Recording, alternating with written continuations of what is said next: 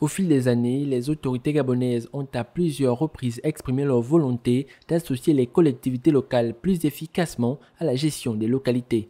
À ce jour, aucune politique de décentralisation n'a atteint cet objectif. Il y a principalement deux facteurs. Le premier, c'est d'abord le transfert des compétences. Parce que est-ce qu'aujourd'hui nos collectivités locales ont la compétence nécessaire pour l'autogestion? Et est-ce que ces collectivités locales ont le personnel administratif nécessaire. Le deuxième, il est d'ordre politique parce qu'il s'agit aussi là, en effet, d'une question politique.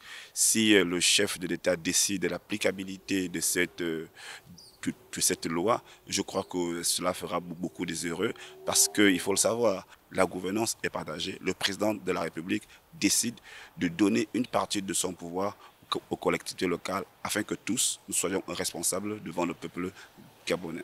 Selon l'expert, dans le cadre de la décentralisation, la notion de transfert renverrait à plusieurs composantes. Cela implique l'autonomisation des collectivités locales. C'est-à-dire qu'elles pourraient euh, du jour au lendemain souscrire à des prêts, elles pourraient du jour au lendemain prendre des décisions de voir comment faire évoluer, faire agrandir et comment faire travailler leur collectivité locale, tout n'attendant pas forcément des instructions de la présidente de la République ou bien du pouvoir central.